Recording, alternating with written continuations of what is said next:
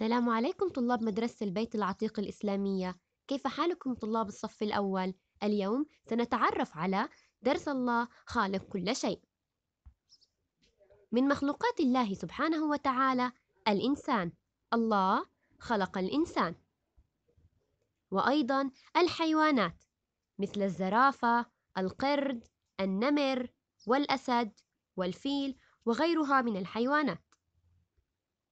وأيضا خلق الله سبحانه وتعالى النباتات مثل الشجرة والعشب والأزهار.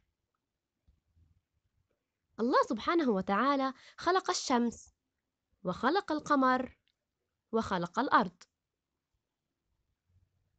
وأيضا خلق السماء. هكذا يا أول نكون قد تعرفنا على مخلوقات الله سبحانه وتعالى وهي الإنسان. الحيوان النبات الشمس القمر الأرض والسماء. أرجو منكم كتابة هذا الملخص في دفتر التربية الإسلامية.